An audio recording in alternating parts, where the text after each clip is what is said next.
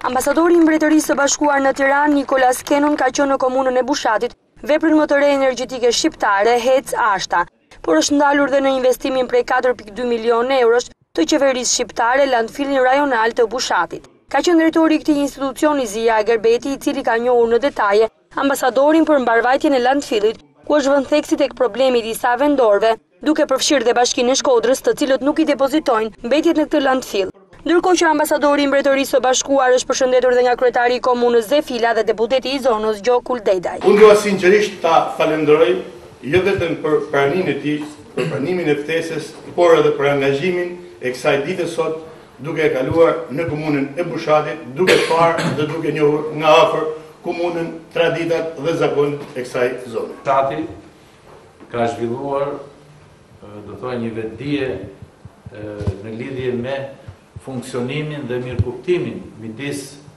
administratës së komunës, midis institucioneve që veprojnë në komunën e Bushatit, pra për të përcjellë ato politika të kujdesshme, ato politika ekonomike që zënë fill nga pushteti qendror, por që janë implementuar, do thoja, në mënyrën më të suksesshme këtu në komunën Bushat. Ambasadori Cannon i pyetur nga mediat nëse i plotëson ky landfill standardet për menaxhimin e mbetjeve urbane dhe a duhet që të gjitha njësitë e qeverisjes vendore të depozitojnë mbetjet në këtë investim, ai u shpreh se është një domosdoshmëri nëse kërkojmë të plotësojmë standardet europiane.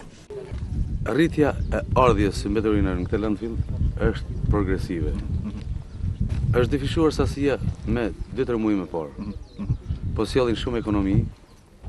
Këtu nuk sjell vetëm Shkodra. Buzë lumit, shiu i merr i hedh në lum, lumi i çon te Buna në det dhe Vitin e kaluar vetëm qeveria kroate ka bërë dy nota proteste qeverisë shqiptare për ato mbeturina. Domethënë mënyra më e mirë është që të menaxhohet në mënyrë të kontrolluar siç është këtu domethënë nëpërmjet landfillit sepse po të shikojmë domethënë kemi shumë shumë mbetje urbane që i shikojmë rrugëve domethënë edhe nuk është aspak e hijshme të shikosh rrugëve domethënë gjithë këto mbetje urbane. Po gjithashtu një pikë shumë e rëndësishme që e ngriti drejtori është edhe riciklimi sepse nëse mund të riciklosh sa më shumë të kesh si për shembull shishe prej qelqi apo shishe plastike, domethënë apo mbetje të tjera të cilat janë të riciklueshme. Vizita e ambasadorit të Mbretërisë së Bashkuar ka përfunduar në Qendrën Muzeale Ndre Mjeda, ku mori pjesë në aktivitetin përkujtimor në kuadër të njëqind e dyzet e gjashtë vjetorit të poetit të madh Ndre Mjeda.